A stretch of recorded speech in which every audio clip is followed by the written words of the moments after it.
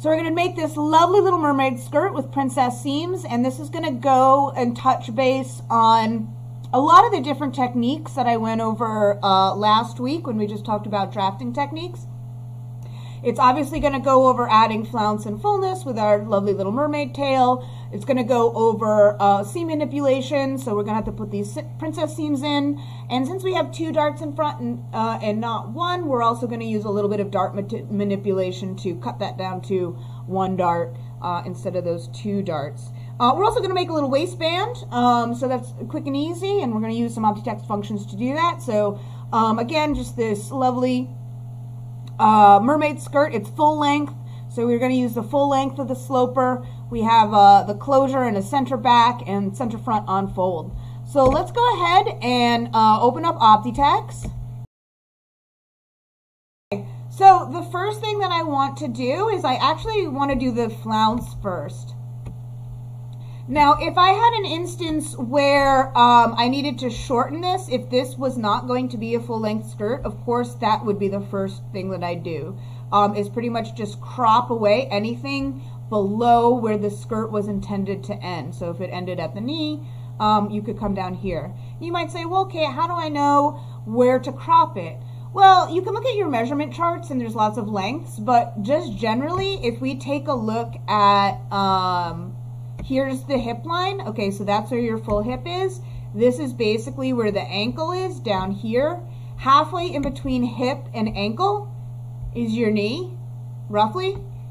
Halfway in between knee and hip is like mid-thigh. That's like your short skirt, kind of mini skirt length.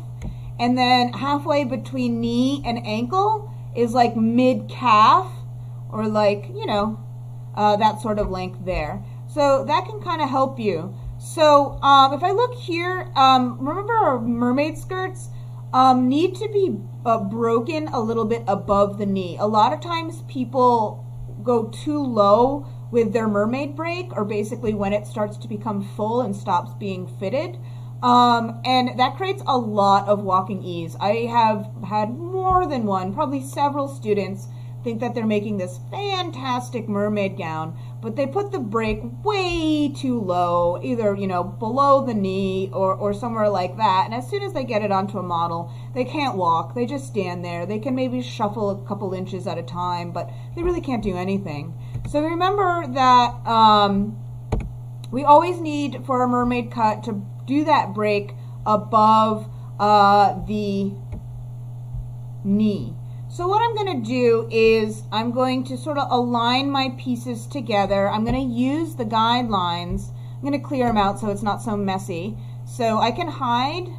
Uh, I'm going to delete all of them that I have so I can, I can basically toggle them on and off. But there we go. I've toggled them off so now a whole mess of them aren't going to show up uh, when I do this. And I'm going to line my bottom just so I know they are aligned down here. So that's fantastic and I'm pretty much going to measure up uh, or measure down um, uh, depending on where I want. So I, I want what I want to do is I want to find a point between here and here that's halfway. So I at least know where my knees are. So I'm going to add a point on contour. Come on, I clicked you, I swear. And hold down Alt so my measurement box pops up. And I'm not going to do this measurementally up here, so I'm not going to type in the absolute values. I'm going to type in a proportionate value and stick it at um, one half.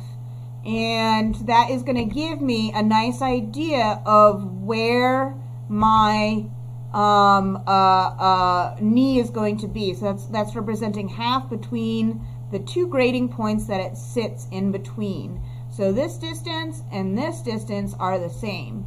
And I'm going to go ahead and drag down another guideline just to snap at that point so I know that's where my knee is. Now I'm going to look for like a little bit above this. So I'm going to drag down yet another one to place just sort of like right there, just above the knee. And that is where our break is going to be. So now I'm going to zoom in and I am going to cut along my guideline. So I'm going to use my cut piece tool, keyboard shortcut C, or it'll be in your toolbox over here under build and cut. Do, do, do.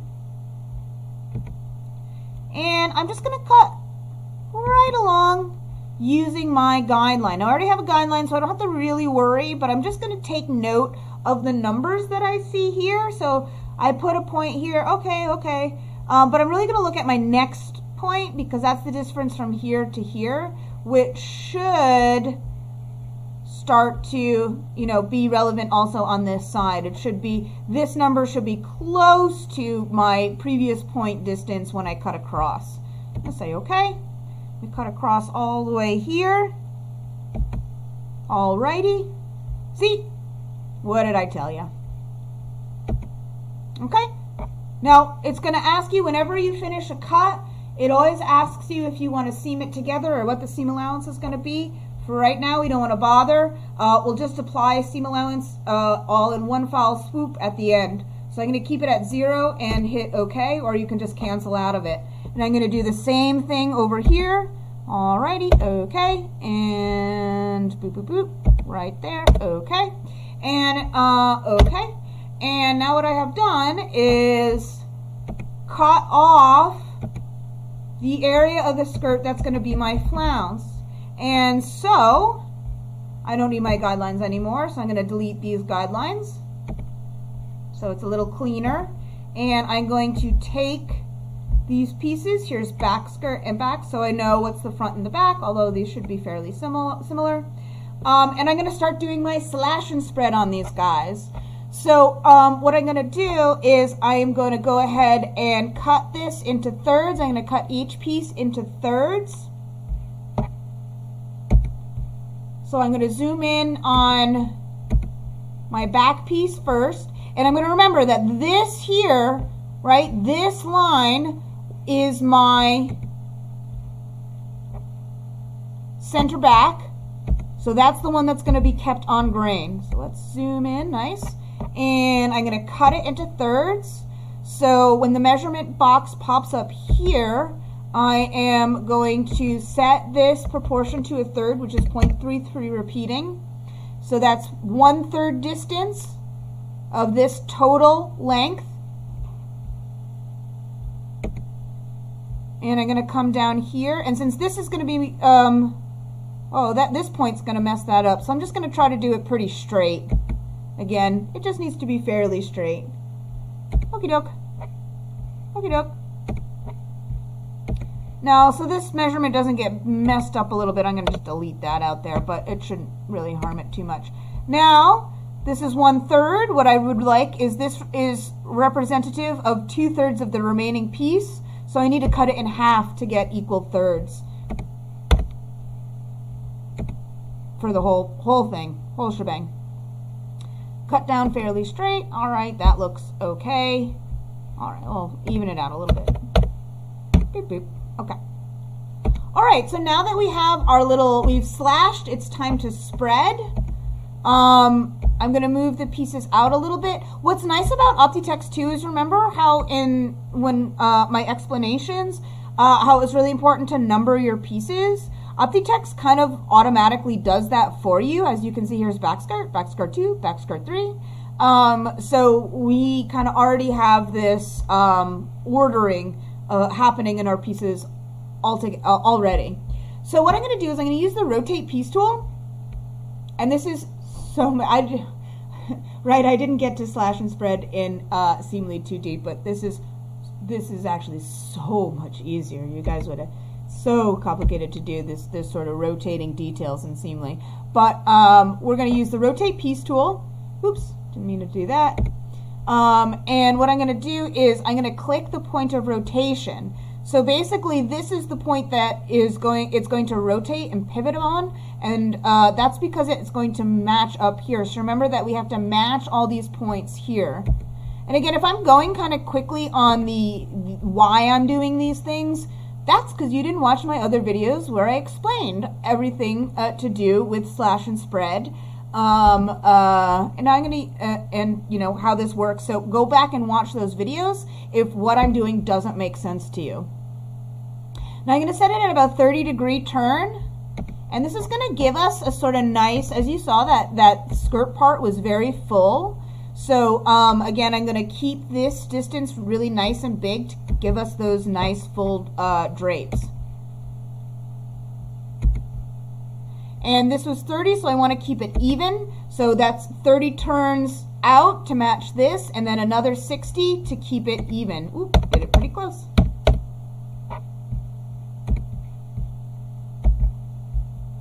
And we'll match that up to that point. So again, all of our points are matching. So this seam length, this overall seam length where it's going to match up, um, uh, will be preserved. And put that in there. Now what I want to do is I basically want to trace all of these pieces because this entire area is going to become our flounce piece.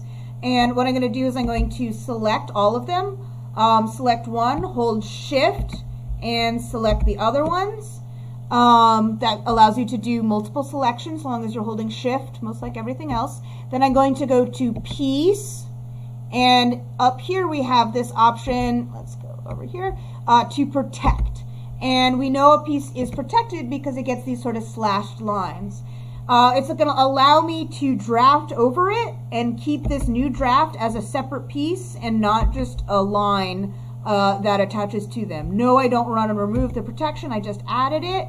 Now, uh, I'm going to disable the measurement box for right now because I'm just going over what I've already done. I'm not making any measurements. I'm just basing this on what I've done. Now remember that to make curves, I hold down shift. And I'm just clicking on all of the points that I have in my template. So again, that's why I don't need measurements. So there is my draft piece. That's my flounce piece. I am just going to take the time to label it because once I get done with this, the back flounce is going to look an awful lot like the front flounce. So I just want to make sure I know what the difference is. And while we're here, I may as well correct the grain line as well. Remember, our grain line, even in our flounces, should go perpendicularly, I'm sorry, parallel to the center back. Okay? They can also go along your side seam uh, too uh, in certain instances. Or you can have it as a bias. Well, there's lots of options, but let's just do it like this for now. Okay, now what I'm going to do is I don't need these guys anymore and they're cluttering up my workspace, so I'm going to delete them all. Bye-bye. Let's do the same thing for the front skirt. I'm going to do it a little faster now because I don't need to explain because it's the, basically the same thing as we did before.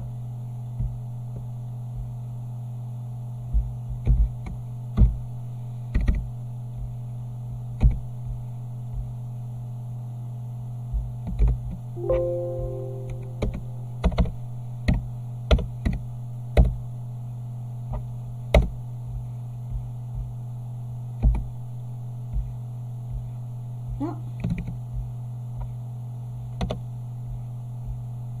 have to press Alt. Come on. Do it.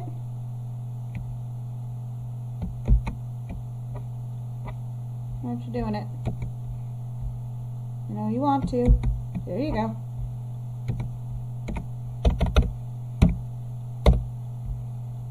Woo.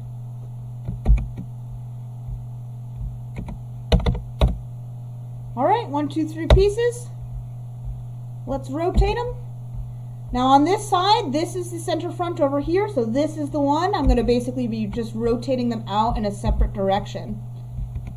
Rotate piece tool, keyboard shortcut R, and I'm going to, there's equal flounce in the front as the back, so I'm going to keep the distance that I uh, rotated out the same as I did on the back, so I have equal fullness in the front and the back. Now I'm rotating it in the opposite direction, so this is actually going to be in negative degrees this time.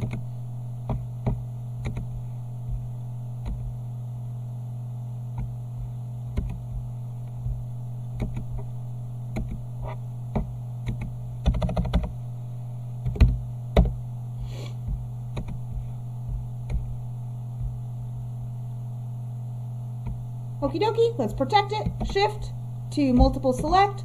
Go over to your piece, protect, and let's draft that front flounce. No.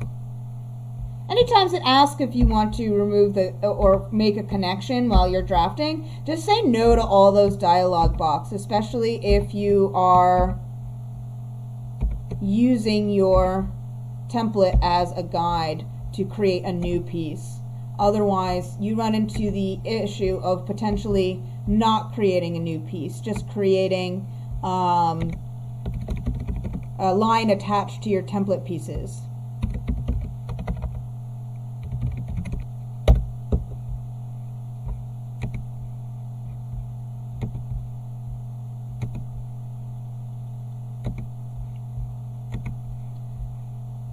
Boop, boop, boop. Okie dokie. Set that down there. All right, now let's head on up to our other pieces. Now what we have to do here is we have to do a princess seam.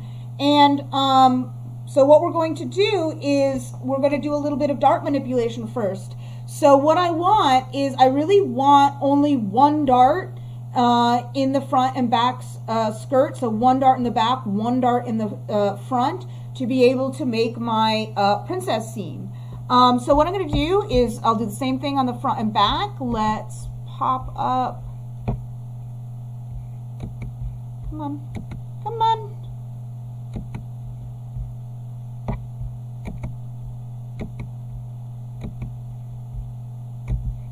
Let's do the back first. So remember, all we had to do is we had to calculate the total dart intake and then delete our darts. Delete, delete, delete. Do not close. Uh, and I'll show the difference between that. Uh, and create a new dart that totals our uh, equals our total dart intake. So this was easy. Back is easy. It was one inch, one inch.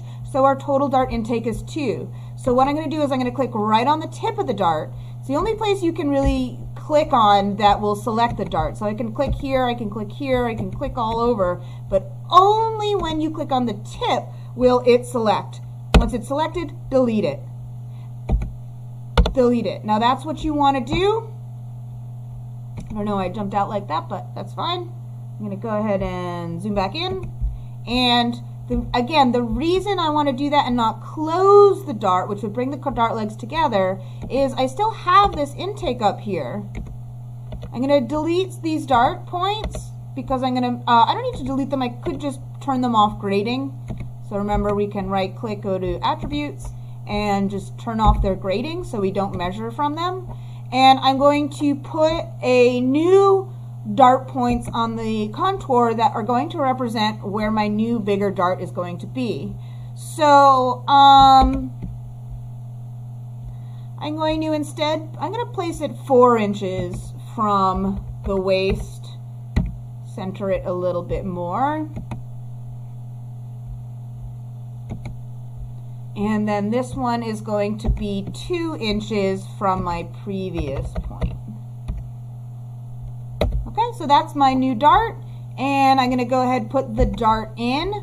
One, two, and the depth remains the same. The depth remains the same. I think I don't I don't know if I mentioned that in the other video, but your your dart depth will remain the same. Okay, let's do it on the front.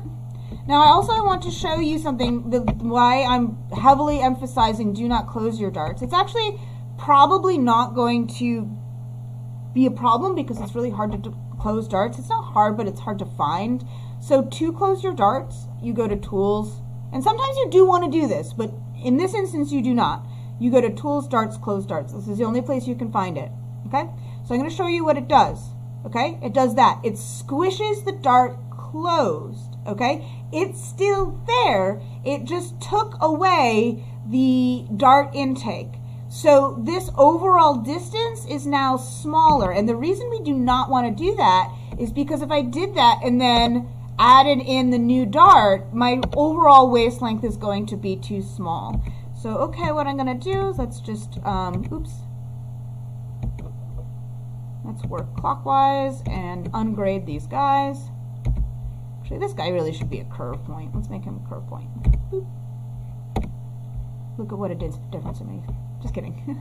okay, so uh, I'm going to keep the same dart uh, placement um, as the back.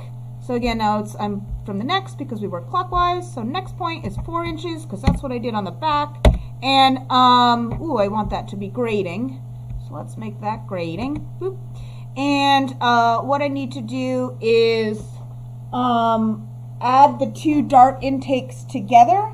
Um, so they were both five and an eighth inch. So that's 10 uh, eighths, uh, which is one and a quarter. Uh, so that's what my new dart is going to be.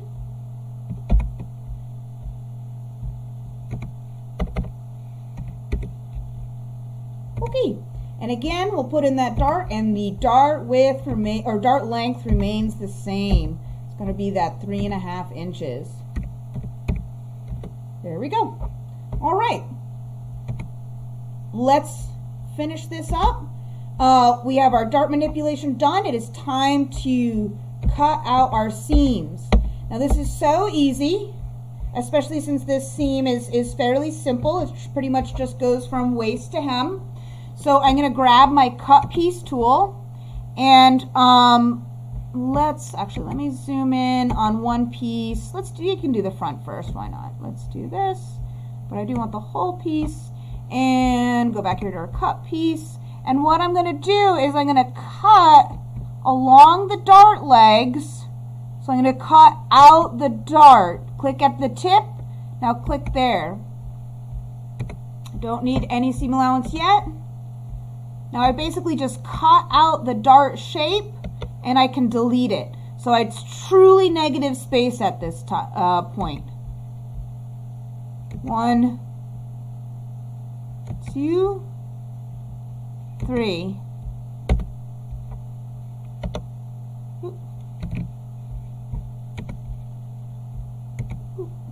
Okay.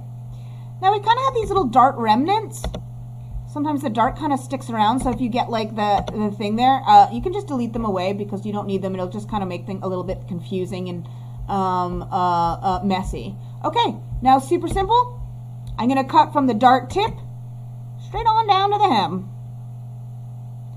You can use guidelines for this. Actually, why not? Let's let's do a nice little guideline. It'll help us easy. I'm going to drag it out here, and I'll drag one out here. And of course, remember that this line that I'm cutting can be any shape that you want it to uh, when you're doing a seam like this. Not when you're doing this project, because for this project, you need to copy what I'm doing. Um, but when you do your own draft and or making your own princess seams, you can make it jig-jag or curve or whatever. It doesn't matter. It's all style. Boop, boop, boop. Okay. Now I have my back skirt here, which I am going to name more appropriately my center back skirt. And this is going to be now more appropriately my side back skirt. Again, oh, oops, typo. Skirk. Skirk. Um, always label your pattern pieces something that is easy. Oh, I already did that. Ha ha ha. Is easy and clear. Like front skirt one, front skirt two, or piece, piece, piece, or draft, draft, draft are not good pattern piece names because it's not telling me what the piece is. So when we have clear names and clear labels, it dispels a lot of confusion as to what the pattern piece is. And remember, the whole goal of our pattern is to make it as clear and easy uh, to make and to read as possible. Because again, guys, you probably are not going to be the ones creating your own garments. These are probably going to be passed off to who knows where. Um, uh, seems like this is a little bit frozen. Okay, to unfreeze for me? I certainly hope so. Let's add some allowance. Oh, come on, don't freeze. Don't freeze, Optitex. Especially since I wasn't saving. So you guys, is the whole computer frozen? Oh no, I froze the computer. Oh no. Oh no.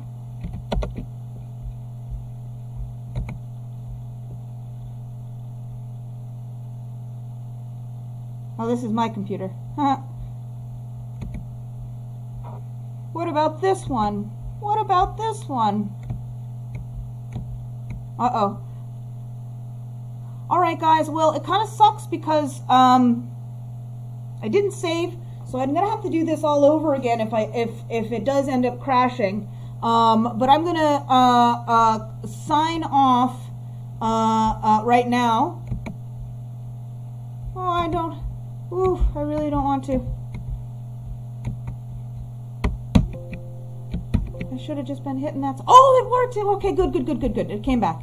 So if that happens to you, just try to wait it out. Usually if it's going to crash, you get that little spinning wheel. So I had hope and I was right to hope. Okay, anywho, let's finish this off because we're almost done. Uh, I want to put some seam allowance on. So center back, if you remember the flat, it had a, um, a seam in the center back where we're going to put the zipper. So I'm going to get even seam allowance all the way around. So if you want it even all the way around, click on one point, click on it again. That tells Optitex start here, go all the way around the figure, and then stop. I'm going to add half an inch seam allowance. I'm going to choose option two to miter it so we can keep the excess seam allowance out of our corners. Back skirt, also going to have seam allowance all the way around.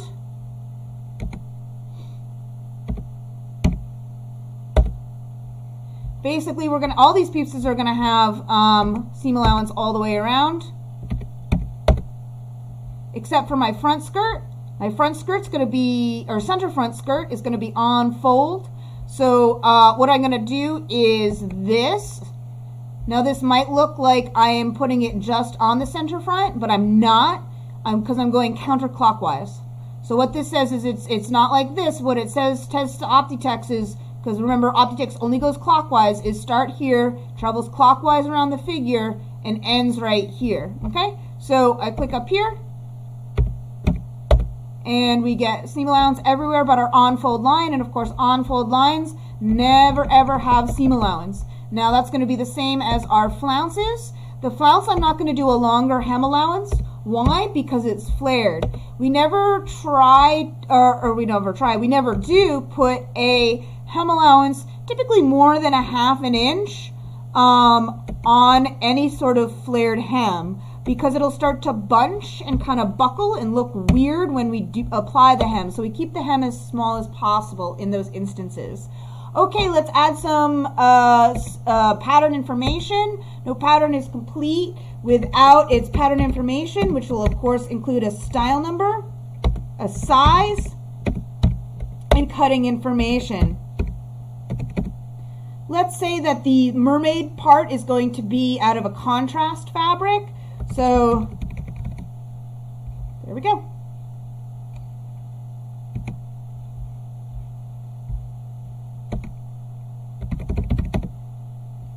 And to make this go a little bit faster, obviously the size and style number are going to remain the same. And really the cut information too. But I'm just going to quick throw this on the clipboard so it'll be a little bit easier for me in the next ones. Okie dokie. Now let's move up.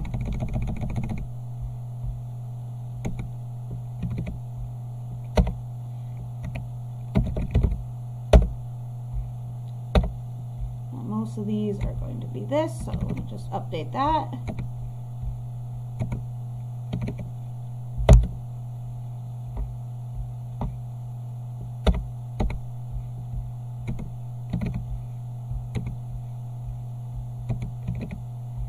Is going to be one self. Right, that's on fold. Now we do need a nice little on fold label. So I'm going to continue on with my text tool and give ourselves on fold labels. Okie dokie. And here in the internal properties, and you can also right click on your text box and go to attributes to pop this up. To make it sort of um, stand upright, I'm going to set the angle of the text to 90 degrees and then we can kind of adjust it onto the fold uh, just with the arrow key and the little boxes there. Now let's do that and Do the same thing down here.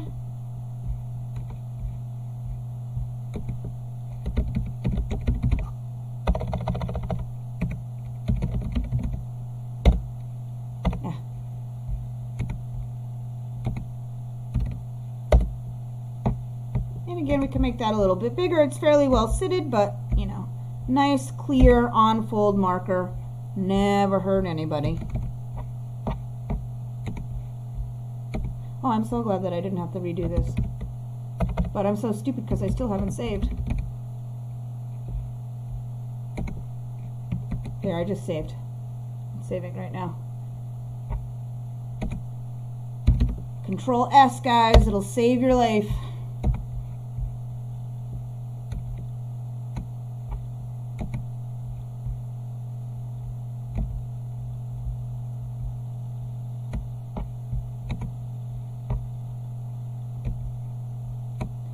Okay.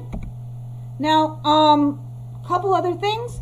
I'm pretty much done with this draft, um, except for, oh, the waistband. I forgot the waistband. Well, the waistband is super easy. But I'm also going to put in a couple other things. I'm going to put in um, uh, notches. Now, we would typically have notches along the uh, hip line to help us sort of stabilize and match up our cross grains.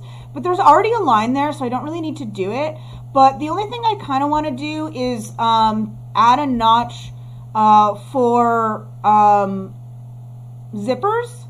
So, oh, and maybe one on the flounce where this seam is going to go. Actually, that would be a good thing. So what I want to do is put a notch on this seam where the princess seam is going to hit. So I'm just going to take a quick measurement using the measurement tool of center front to princess seam. Now remember, it should be a little pretty close to four inches. 4.79. Okay. Um, because that's where our dart placement was. It, the reason it's not exactly four is because of the distance the dart is that sort of shape that dart created. So what I want to do is I, I want to put um, uh, a notch using our add notch tool um, that 4.79 inches from there. And this is going to be, of course, my next piece. Boop. Okay, and that's just going to help me align this piece with the flounce uh, when it's time. And I'm going to do the same thing on the back flounce. Let's measure what the distance between center back and the princess seam is here. It is five and a quarter.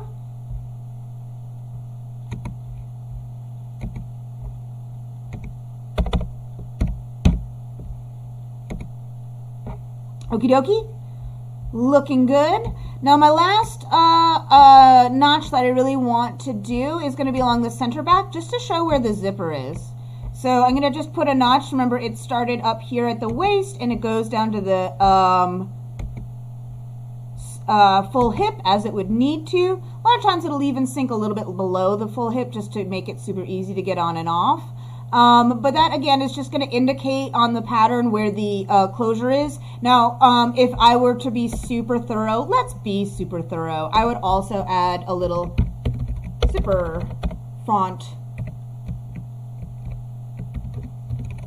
just so there is no confusion on what that closure is going to be, what those notches meant. Um, and again, knowing where our closure is is always very important. So we're going to scoot that back down there. Okie dokie. And let's... Oh, it got a little weird. I'm gonna, okay. So I'm gonna change, you can actually change the location in here as well, but it's done along the X and Y coordinates. So right now it's sitting at negative 42. I'm just gonna um, go into negative 40 and that'll let it sit in the piece a little bit better. Okay. Um, now let's make that waistband and we'll be done, done, done. Now waistbands are super simple um, and they uh, can be made through the piece window. So we'll go to piece, new piece, create rectangular piece. Okay, so this is really all we need to do to draft the waistband. Um, so what I'm going to do is I'm just going to um, enter my full uh, waist length. So I'm actually looking back at the measurement chart, and for the size 8, our full waist was 26 and a half. Now, remember, remember, remember, I know it was a long time ago, um, we added a quarter inch ease to both the front and the back waistline, okay? And that was in quarters, so that would be um, uh, uh, we added that ease to the uh, waist arc, which represents a quarter. So in the front, we actually added a half inch of ease, um, a half inch of ease uh, to the total front waist, and a half inch of ease to the total back waist. So that's an inch, a full inch of ease. So I'm going to add one inch, the 26 and a half inches uh, from our standard measurement chart, which of course will give us a length of 27 and a half inches. So that is our full waist length plus one half inch of ease that we incorporated into our sloper. Now the width is simply double the width that we want our waistband to be. So if you want one inch up and down, you make it two inches. If you want to make it one and a half inches up and down, you make it three inches. If you want to make it a half inch up and down, you make it one inch. Kind of get the pattern? Let's assume that was going to be a one inch waistband, so I'll make it two inches, and we say okay. And there is our waistband. Now this does not include any overlap. A lot of times waistbands will include a little bit of overlap, uh, you can put a little hook and eye or a button or something like that to sort of smooth out the closure. I did not do that. It's not necessarily wrong. It's not necessarily that nice either. Um, pro probably adding a little bit of overlap would be nicer, but I'm going to keep this draft super simple. This is a super simple draft, so I'm not going to bother with any kind of overlap. All I'm going to do is finish this off. I'm going to give that waistband a half inch all the way around. The grain is fine, and I just want to name this, obviously, waistband. And we're going to zoom in and, and give it a little bit of uh, text as well. All of our pattern pieces got to be labeled.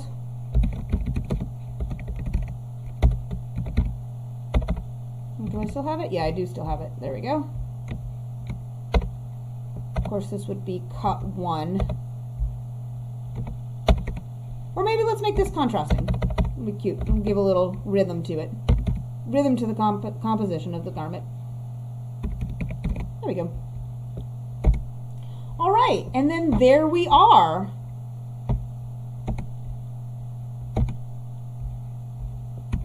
Just rotate so we have this all neat. You don't need to do this, but I kind of, I get a little crazy when it comes to organization. I also, if you, when you guys organize your pattern pieces, you know, something neat and clean like this, oh man, this will make it a lot more fun to grade, a lot easier to grade. I don't have to be going around and, and organizing them all for you. Hint, hint. and there we are. That is our finished draft. Uh, uh, again, this gives us a nice side uh, princess seam, a waistband, a flounce, and just to sort of pick back, this is, if I cut this out and um, uh, sew it together, um, I will get this. This is what we just drafted. There's, remember, the zipper in back, there's our waistband, there's our one uh, princess seam going straight down to the hem, there's our, our full flounce right here. Um, so this is what we just drafted. And um, I'll write this up at an assignment, but this will be due next week. Got a little bit of catch up to do, especially since we got um, spring break coming up next week, but we still have class Monday and Tuesday next week. This will be due on Monday next week. If you have any trouble with Optitex or anything else, um, uh, please follow the link in the announcement. Um, and of course, if you probably, I would assume you still have uh, what you have uh, done for your skirt sloper. So again, uh, get that to me by the end of the week. Finish first up your skirt sloper. Send that to me. and then continue on to do your uh, uh, skirt flounce draft.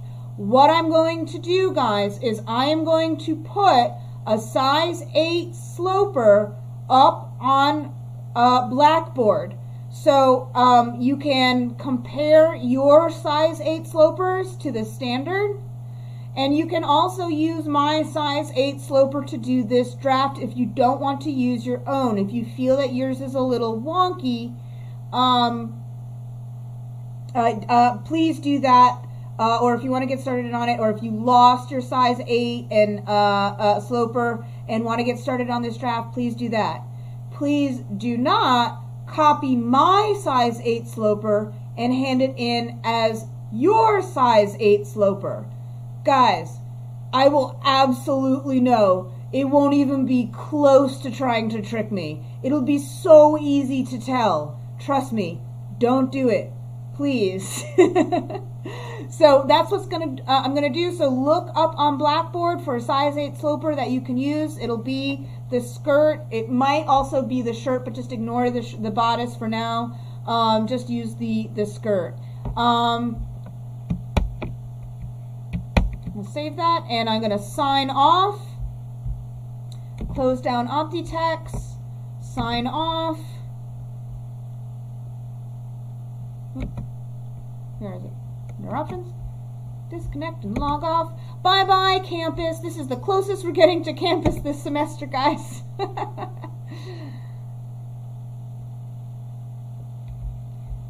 and be safe, be healthy, be well. If you have any questions or anything, please email me. We are here and ready to help you. Uh, bye bye, and I'll see you Thursday.